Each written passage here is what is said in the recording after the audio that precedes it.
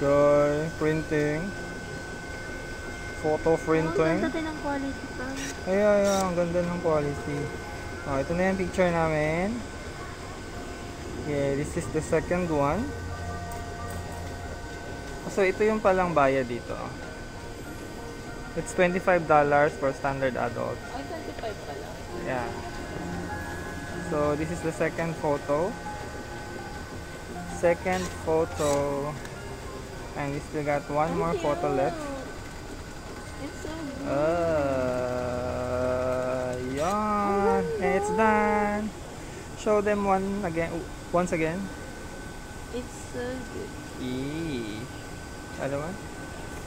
Okay, that's all guys.